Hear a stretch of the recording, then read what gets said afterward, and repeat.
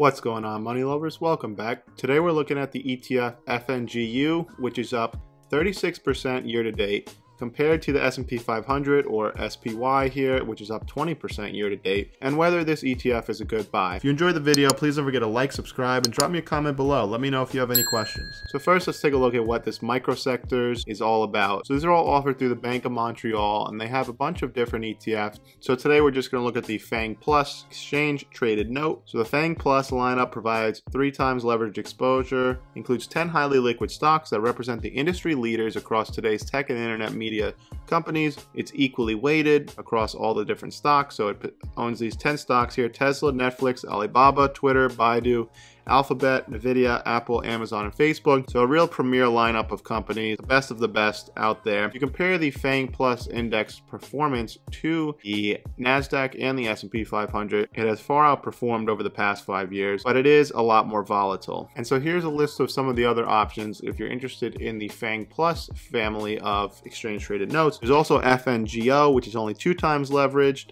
or FNGS, which is not leveraged at all. And then there are a few that are negatively leveraged. Other important information on FNGU and across all the different funds they offer here, they take 0.95% uh, expense ratio, which is a little bit on the higher end. Um, obviously, a lot higher than you know if you're just buying an index fund. As you can see here, the historical performance for FNGU since its inception has been 560 4%, and that is since it was launched in 2018. So 564% return for FNGU since 2018 compared to SPY's roughly 60% return over the same time span. So this is definitely a more speculative stock and it's going to be wildly volatile. And as you can see here, it is trading more toward the high. I think that this would be a great buy if we got a correction or if there was a market crash. I would love to buy it back down here, you know, in the mid 20s or maybe even around the $30 range, but I won't be buying it here because I, I think it's overvalued and there's a lot more downside here than upside. All it takes is a little bit of bad news and all of a sudden some of these fantastic companies go down